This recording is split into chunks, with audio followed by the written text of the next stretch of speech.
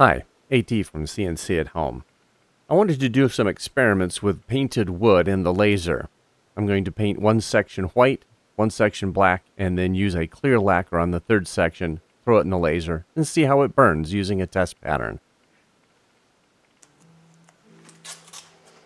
Before we go to the laser, we'll have to get the paint on there. I'm going to put some masking tape down on the board so that I can mask off the different sections so we can clearly see what's going on.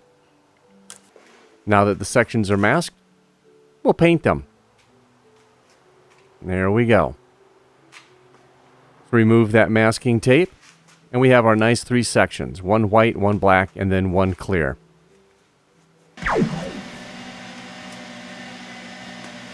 I'm using my standard test pattern that I burn at a variety of um, power settings. Um, I'm using 1500 millimeters per minute and burning at 100, 90, 80, 70, 60, 50, 40, 30, 20, 10, 5, and 1%. We'll get the uh, clear one burned here and then we'll take a look at what uh, the results were.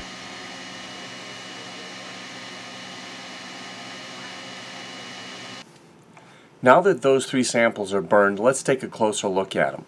I'll put them up right over here so you can see them.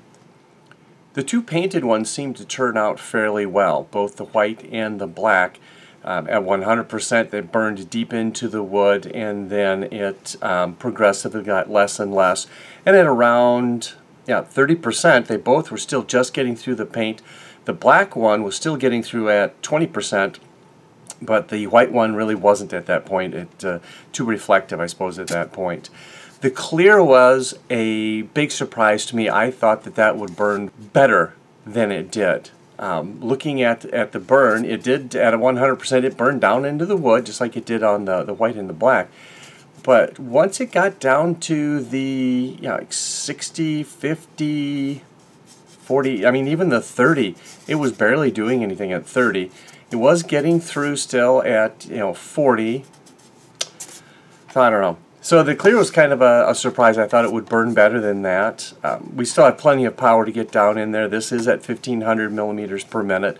So the speed is a little bit slow. We could speed that up and keep the, the power up there and go faster at least and get through we can um, maybe use this on some future projects, cutting some wood. So painting it first and then coming back and burning the paint away that will lend itself hopefully to getting some paint down in that burn as well um, because we should be able to wipe that right off of the paint that's already on the surface. So there'll be some fun experiments coming up in the future. I hope you enjoyed this video. If you did, please press the like button. If you like our content, press subscribe. That helps the channel. That's really great. And uh, have fun with your CNC at home projects.